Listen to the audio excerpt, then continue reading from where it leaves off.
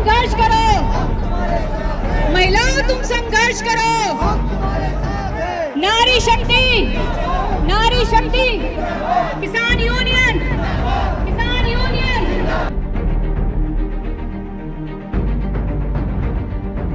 दिल्ली के जंतर मंतर पर बैठे महिला पहलवानों के समर्थन में किसानों का बड़ा जत्था लेकर भारतीय किसान यूनियन के नेता राकेश टिकैत रवाना हुए। उनका गाजियाबाद में पुलिस से सामना हुआ। गाजीपुर बॉर्डर पर बनाए गए बैरिकेटिंग को किसानों ने तोड़ दिया। पहलवानों तुम संघर्ष करो। महिलाओं तुम संघर्ष करो। वे दिल्ली बॉर्डर की तरफ़ जा रहे हैं। तानाशाही नहीं चलेगी और गुंडागर्दी नहीं चलेगी जैसे नारे लगाते हुए किसान नेता आगे बढ़ रहे हैं। इससे पहले गाजीपुर बॉर्डर पर राकेश टिकैत ने किसानों को संबोधित किया।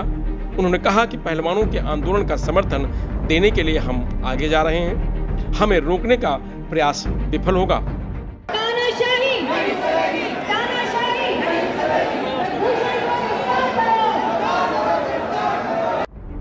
उन्होंने यूपी पुलिस और दिल्ली पुलिस को चेतावनी दी कि अगर उन्हें रोकने का प्रयास किया गया तो वहीं पर धरना शुरू कर दिया जाएगा। किसान नेता ट्रैक्टर की जगह गाड़ियों से दिल्ली की तरफ़ जा रहे हैं। पहले ट्रैक्टर से जाने का ऐलान किया गया था।